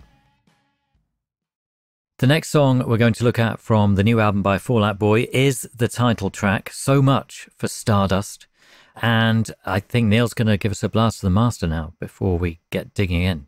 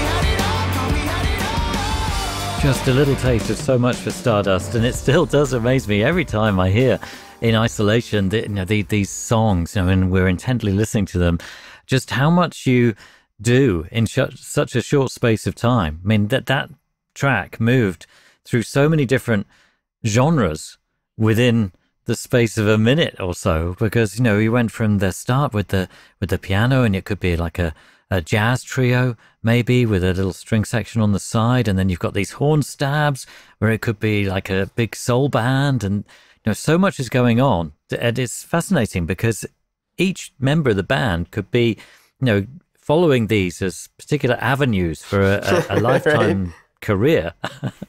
No uh, and at the same time you're all bring them all together and you're Fall Out Boy. Yeah, we we couldn't do it without each other, like I said. So, yeah, but this one was weird. This one, I uh, I barely sent the demo. I I was sure no one was going to like this one. I I didn't. I had made it and I liked it, but it was just kind of fairly far afield of our kind of repertoire, I guess. And so I was like, you know, probably don't need to send this one. But I did, and it kept surviving. I actually remember Neal and I were talking about this too, is because Neal and I have this interesting rapport where, you know, generally we like the same stuff. We like the same, you know, music that we're working on. But there's also every so often this like, you know, intellectual part of you that goes, well, but we can't do this because no one's going to like this, whatever. And so I think both of us had kind of struck this song off the record, and it was really Pete um, that was like, no, that that's a priority. And um, I was kind of surprised. I didn't really, I didn't think he was going to go for it, but um, yeah, it worked. As I recall, Patrick, I, the very original demo, which I can't find anywhere, unfortunately. I don't think had a chorus. I think it was just a verse. Yeah, I think you're right. I think it was just a verse, and but I always found the the thing kind of hypnotic in this very cool hip hop way, the verse that I loved with the the beat and the rhythm of the and soul and the soul soulful mm-hmm. vocal and everything. I just thought that was super cool.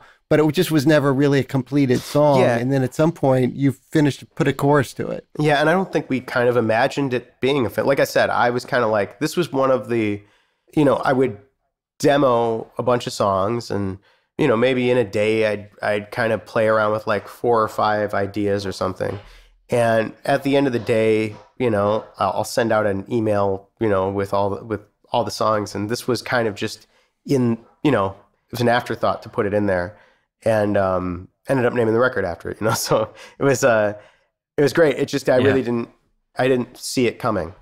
Yeah. so what are we going to listen to first So I I guess you know just to talk briefly through this, the the string intro, uh, which is very different from "Love from the Other Side." Yeah. This is this is an octet, so it's a much smaller. And you know, in the mix, I wanted this to feel like a chamber string group as opposed to a, a big orchestra, and so I wanted to be more intimate.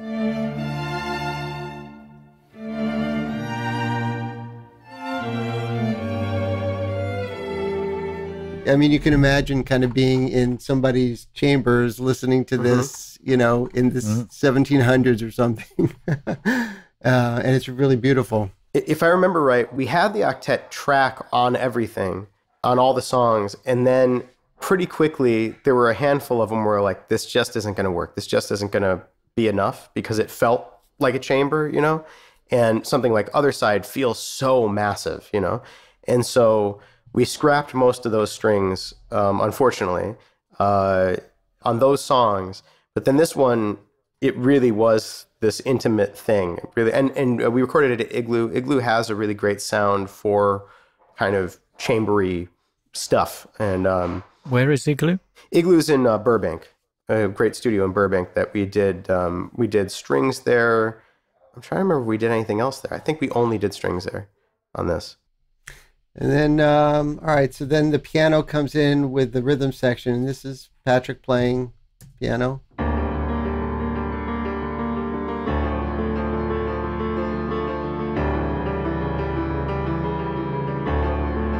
And and then one of the cool things I, I, I you know just from a production engineering side of things for this song is the drums that Andy played on uh, as we were recording it.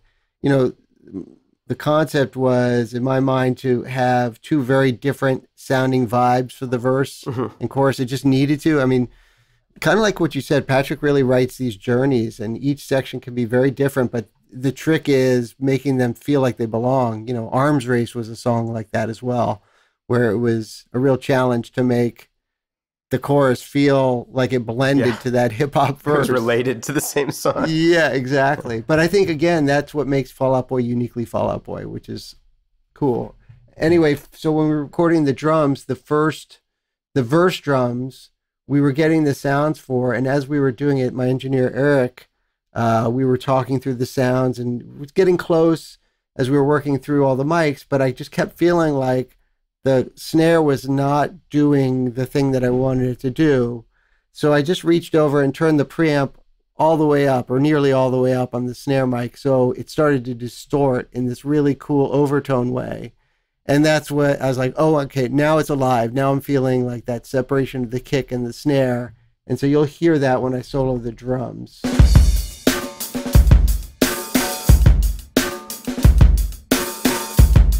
So it's, you know, it's still it's a live kit, but it's got a totally different spark than a rock kit. And there's no room mics in there or very little. It's really close mics just kind of doing that thing.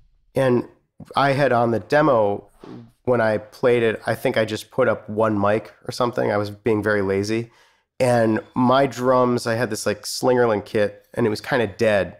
And um, it was interesting trying, it took us a while to like find, because it, it sounded bad. I mean, it was a demo, but it, it kind of put us into this place where what is the matured version of that? What does that sound like? You know, and it it really took us out of rock kit stuff. You know, maybe we could play. We could compare those if we if we wanted to hear that too.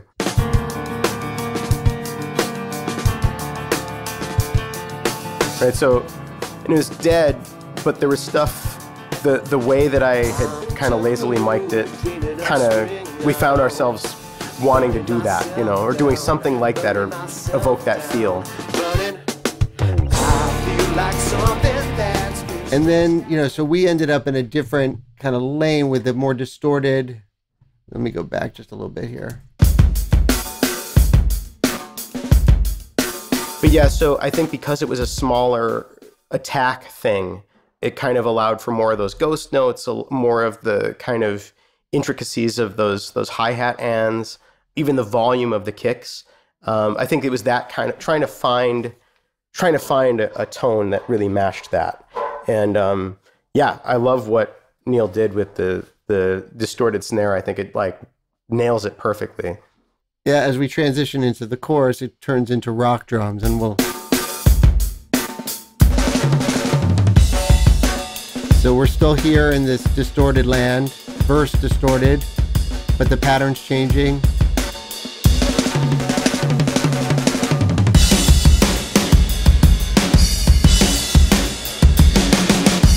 So those are different drum passes, different drum recordings Yes. on different kits Completely different kit, Yep. I think Yeah. too. and different players, or is it Andy No, it's all- each time? No, it's all Andy. It's all Andy. Yeah, we, we Andy. changed out various. Yeah, we've changed out various drums in the in the set. All of a sudden, the room mics are coming in, and uh, the snare is getting deeper. And again, that's kind of the trick is you can hear it soloed, but in the song you you also feel, hear it, but it doesn't sound foreign. They feel like they blend and and and work together. Yeah. But they really help make that transition as the whole sound and shape of the song changes, then it evolves it in a way that doesn't draw attention to itself. Now, one thing I would love to play is Neal. Can you play the chorus of the demo? 'Cause I think the biggest change that we made from the demo was kind of simpling out the simplifying the drums a lot because I had just kind of I was just kind of going nuts, you know, and I didn't really have an idea for a groove for the chorus. And I think that was probably one of the most significant changes was finding a proper kick snare pattern, Yeah. you know.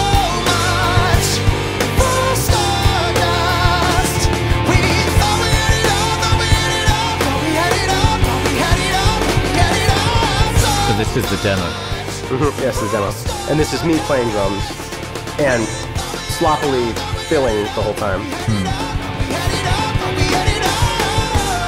and I, it was kind of like a balance of finding that urgency that I was playing with, but then having something that's more. Because Andy is a, it's funny because I'm a drummer too, but Andy and I are very different drummers, and and it's always cool translating our things between each other because he's he comes from metal like proper right? And so and metal is very strict you know? It's it is to you, you play like you're a metronome. You play to a grid you know? And i'm more of like a i guess funk drummer or something. And um, because of that it was very important that we had a, a more established you know this is the part you know? You can fill on this end of it but like this is the part because and that's how andy's comfortable playing he likes to have parts you know Right. So I think another thing to note is the guitar arrangement kind of throughout and how that evolves through the song, uh, the stuff that Patrick and Joe did together. So playing it from like part of the verse.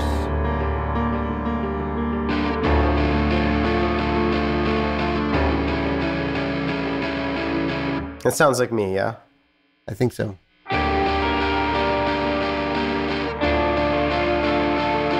Joe arpeggios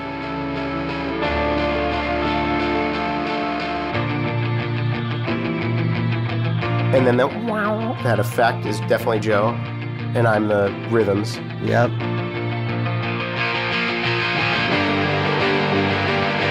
So there's a lot of interesting layers.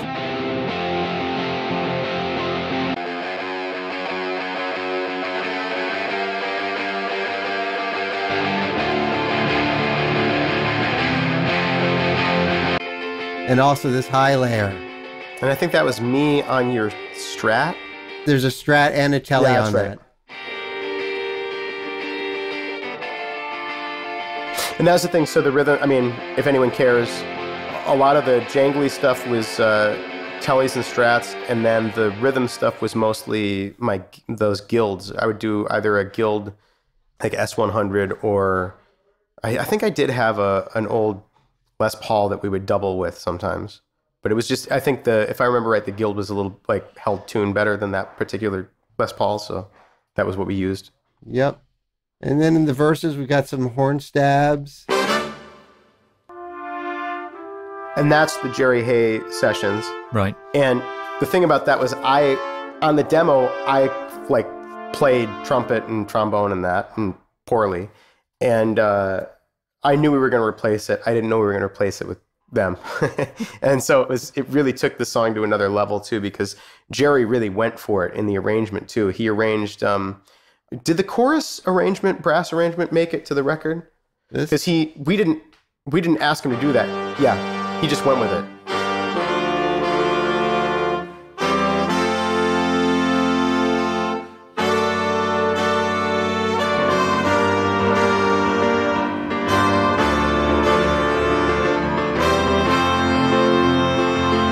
Then he built it up. So when we get to the last chorus, Yeah.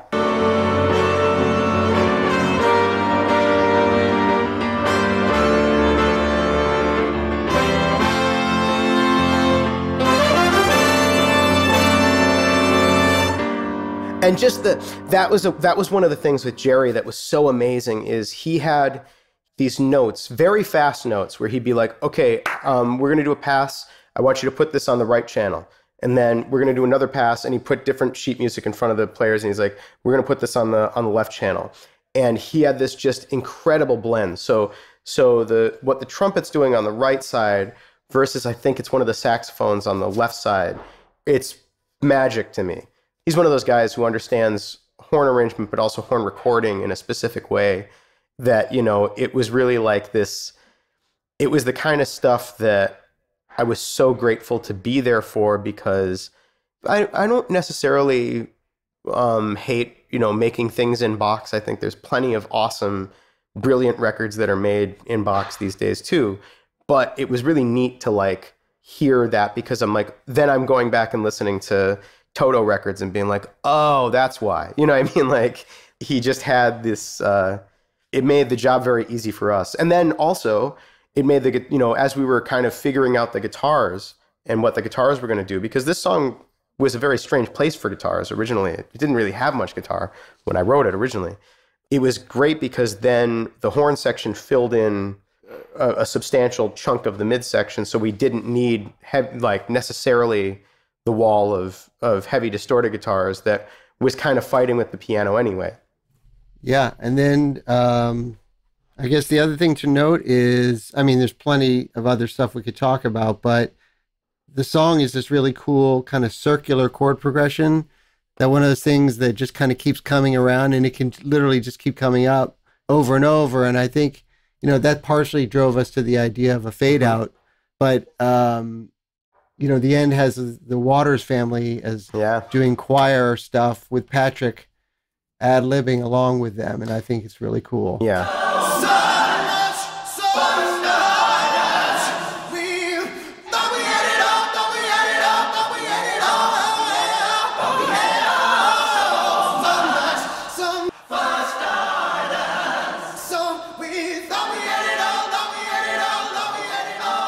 Uh, I remember them being a little tripped up by your rhythms, Patrick, as we were doing that. I mean, it was incredible. The um, I sat at the piano and play, and we and there was this moment where we got out of work, and the five of us were just having a lot of fun, me and the Waters, and um, Oren kept having this idea of kind of heightening the syncopation in it, and we played that like loop for probably like 20 minutes or something. Um, Yes. and it was one of these things where once he started doing that, everybody in the room, you know, our faces all lit up, and there was this really musical moment where, you know, as a collective, we were like, oh, yeah, we got something, you know. That was when it really landed for me. And I remember being like, you know, it was such a pinch me thing, you know. I think there's some synth stuff at the end to talk. You know, I don't know if much Oh, to talk about, but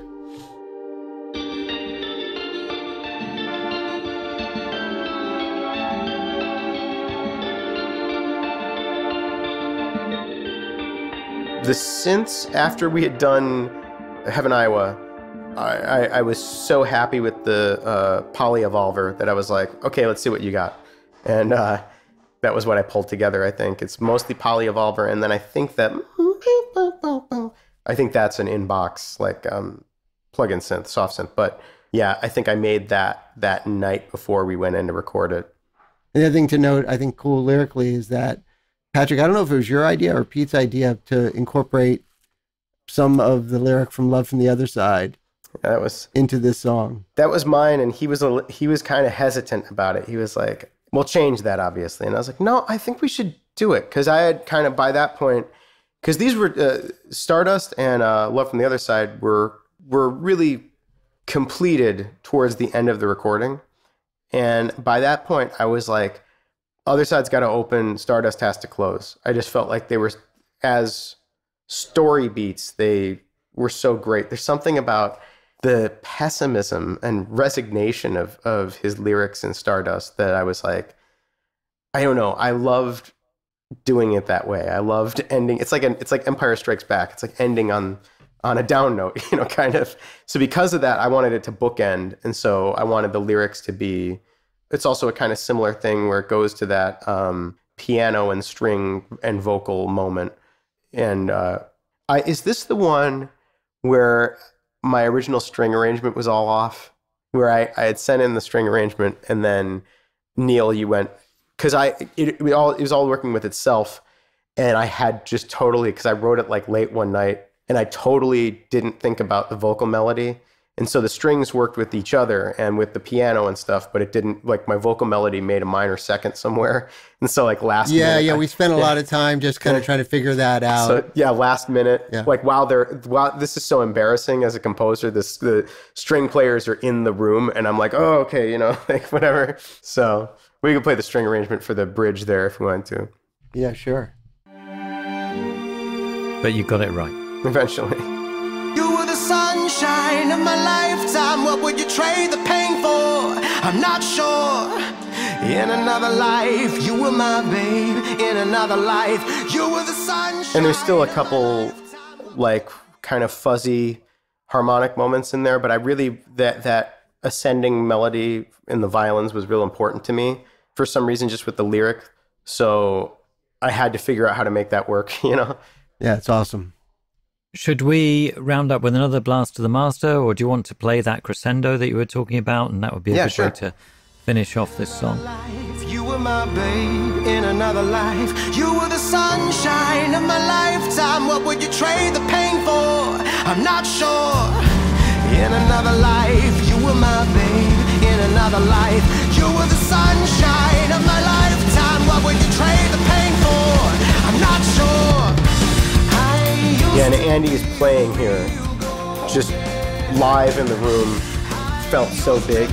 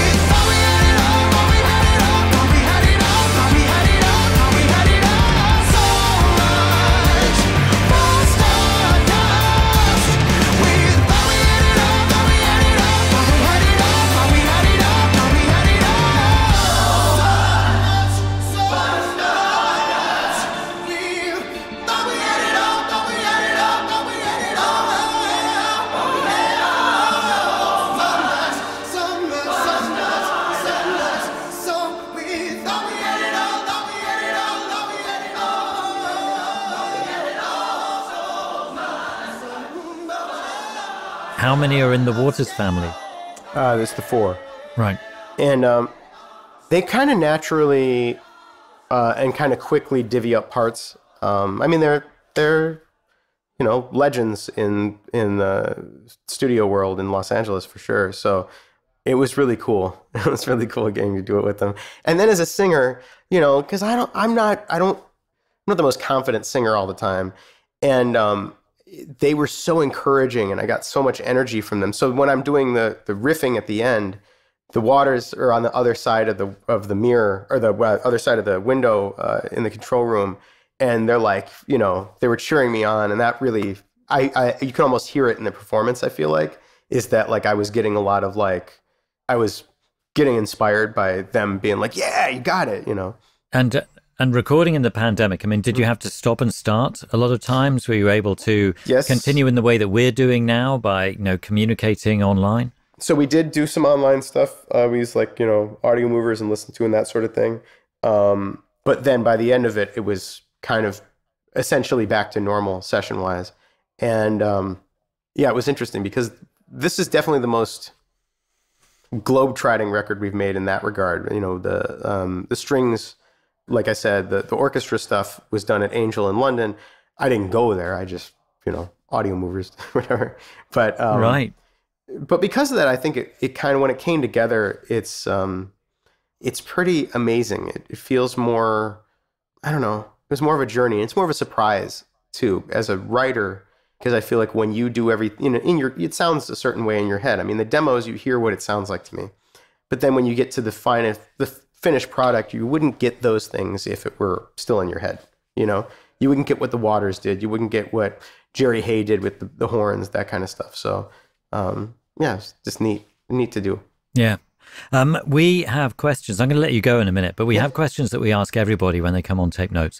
And the first of them is about gear or tech, um, anything that may be relating to this project that you, you feel was vital to the whole process, or or any piece of equipment or a plugin or something that you're particularly excited about at the moment. I mean, the Poly Evolver came up quite a lot Yes, in that conversation. Yeah, the Polyevolver um, was a synthesizer made, uh, I want to say early 2000s, but it has a very weird kind of it. It has a very weird kind of set of because I want to say it's like obligate stereo out, and the and a lot of the patches are like you can't really control what's happening in stereo, and it does a lot of really strange things. It's a it has it's hard it's a hard to describe sound. Um, oh, I'm drawing a blank on the guy's name. The sequential circuits guy. Oh, I'm a bad synth Oh nerd. my god, I can't remember his Just- name either. Anyway, um, it was something he had designed when when he got the company back. So it has a lot of his like weirdest ideas, and uh, if I remember right, it didn't do very well, and so it kind of has a very very strange hidden gem kind of quality to it. Was it And, Dave um, Smith? A lot of those. Yes, yeah, thank you. And um, but it sounds great. It's just there's so much movement and life in so many of the in so many of the patches to start with, and so many of the presets. But then you know we spent a lot of you know we were tweaking knobs and things, so that was kind of part of the fun of working on it. Also, the Ensoniq Fizmo was my partner in crime with the Polyevolver. The Fizmo has a very I don't even know, at times unpleasant kind of modulation that it does. It's a very odd kind of synth. I'm not even sure how it produces its sounds. I'm not sure what what kind of synthesis it is. It's one of the weirdest sounding synths I've ever heard. It really never works in your song unless it does and then it makes the song. It's one of those ones where I try I try out on everything now that I have it because every once in a while you find something and it and you're like, wow, that made this thing sing. But if it doesn't make it sing, it's like it ruins everything. And then yeah, um, I was using a lot of um, I was using that Guild uh, that S100 70s S100 that um, just really sounded great. Um, we used that all over the record. And um, yeah, I'm trying to think if there's anything else, Neal. If there's anything you were using that you're loving. Yeah, I mean, a lot of what I use is, is I have a, a Neve console that we use for recording and some vintage mics between Patrick and stuff that I had. But uh, also, you know, for guitar gear, we were not shy to use pedals where, especially Joe, he really digs in on that stuff. And I have some amps at my place that for, that I like to use. So we mic up everything and we can quickly kind of go between whatever sounds and make combinations of amps. And um, in addition, we might even, you know, bring up something like a guitar rig or something and use that as an effect to blend into an original, you know, a guitar sound. So it might be me saying, "Hey Joe, what if we make this more ambient, or maybe maybe let's have something modulating?" Or Joe would just, you know, if he's doing it, he'll he'll just come up with, you know, I'm hearing this, and he just we find a way to kind of get the sound he's hearing in his head, Yeah. and we'll spend like Patrick said, we really we would spend an hour or, or more on a guitar tone, kind of just dialing it in perfectly. So I don't think it's any one thing. It's and and with the drums, it was it was always talking through with my engineer. This is what I'm hearing. This is what we're hearing. And Patrick and I might talk before I even talk with my engineer. You know, this is what kind. You know, more rock sound, more hip hop sound, more you know, high tuned snare drum, more 22 inch kick, more 24 inch kick, or what, you know, we would really go through those kind of elements and then we'd start Yeah. to work on the drum sounds individually for songs. We would change out snare drums and toms and whatever for each song to fashion the drum kit for each song individually. Yeah, in a lot of ways, you're almost like mixing a little bit as you're picking out those things. It's like part of the process of it because you know how, what's going to fit where, you know. Such attention to detail. It's so impressive, and you can really hear it in the record. Um, do you have a routine, either of you, that you stick to that helps you create or helps you work?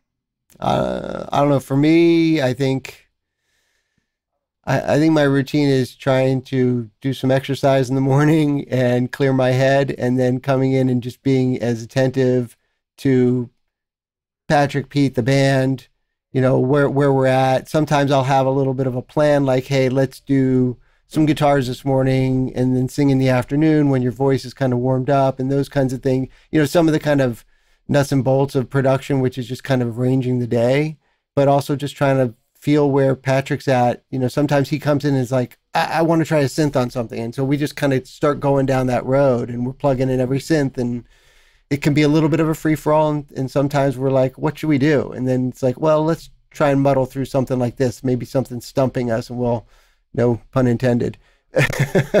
and we'll, you know, we'll go and we'll we'll fight through something maybe that day, or maybe we won't even get something that day very much, or maybe Patrick's voice is tired, so we can't sing or whatever, so we, we go on to something Yeah. else. Yeah, that was uh, well, whatever. That's not that wasn't the question, but yeah, when my voice craps out and then it like changes my whole perspective. Um, yeah, we. Uh, I don't really have much of a routine other than I'm going to go and I'm going to work. You know, so um, I like to when you know we we would start at like 11 or something, and basically, you know, there's some, you know, hey, how you doing? You just you know watched this thing last night, whatever.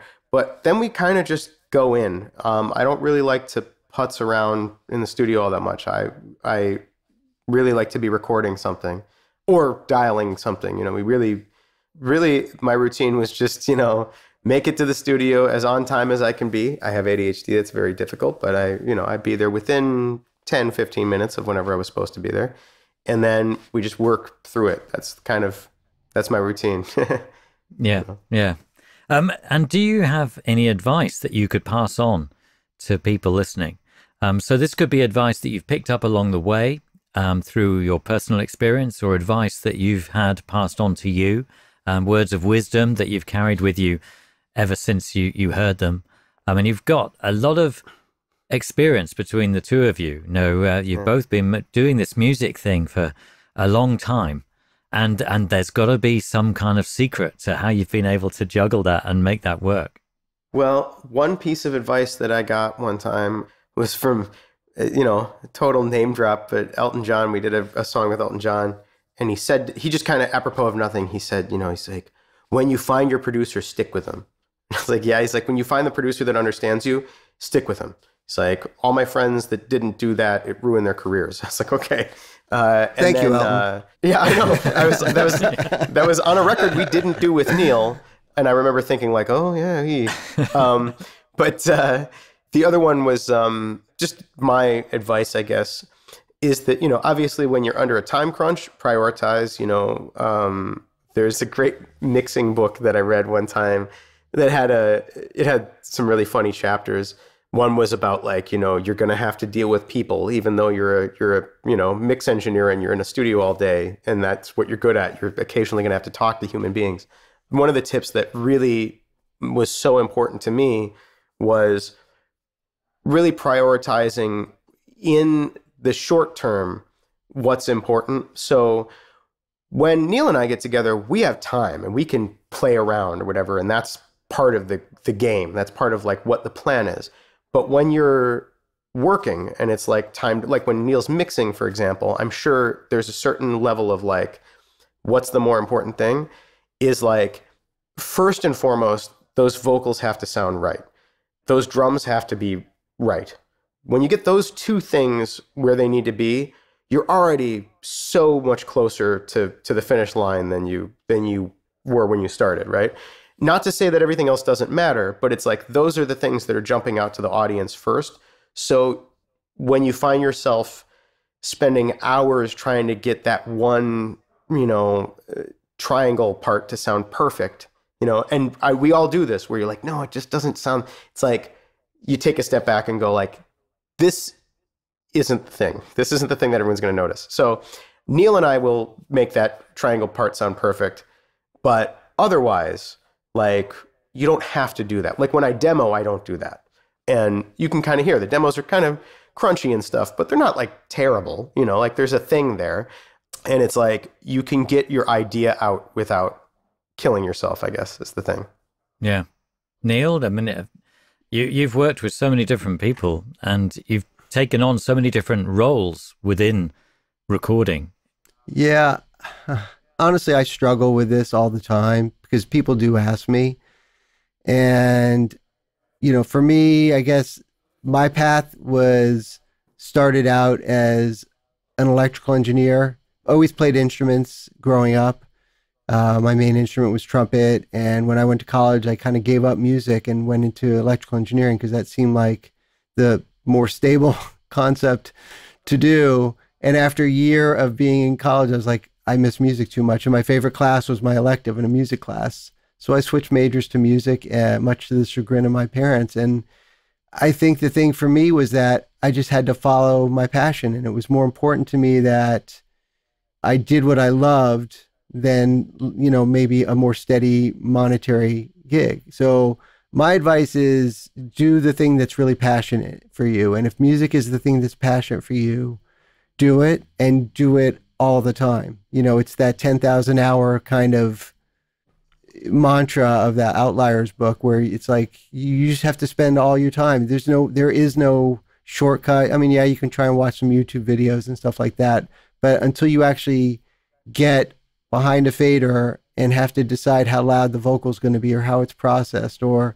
how it fits in with all the other instruments, it can be daunting. I was just talking to somebody the other day who had an instrumental track and they were trying to mix the vocal into the an already done instrumental track and how hard that was for them to get that level right. And it just it just goes to show you that even the simplest things can take practice and and that goes for anything. So I would just say love what you do and practice and practice and practice and fail.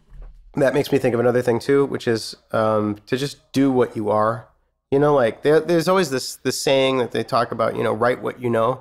It's kind of like a like an addendum to that. Is like I feel like as a player, as a musician, I think sometimes it's more important to be yourself than it is to be good. Sometimes, I mean, practice is so important, but the X factor, I think, is also kind of being yourself. You know, I was scared of that meeting that I had with my uh, manager when he said, "You you kind of used to ramble more.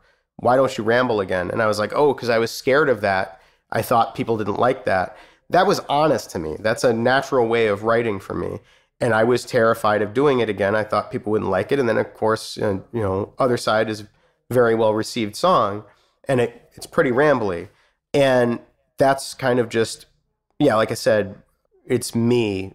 And so don't subvert yourself so much, even if you're scared of it or you think you're not the thing or whatever. Like, like don't let practice iron that out of you. You can still, it should be a partner to whatever you are innately, you know, instead of replacing it. Yeah. It's been so great talking to you. Thank you so much for your time. Thanks so much. Thank you, John. Cheers. It's been brilliant to have you on Tape Notes. Um, we should have one more piece of music and like an outro piece from the album um, that we could play a bit of now. Um, what what would you like to go for? Mm. I'd love to do uh, "What a Time to Be Alive" because that was such a that was another one of those true. I would love to talk about that one if we had time, but we don't. So, but we can just hear it. Yeah. Okay. Excellent. Thanks again, Neal, Yep. Patrick. Brilliant to talk to you. Cheers. And this is Fall Out Boy with "What a Time to Be Alive."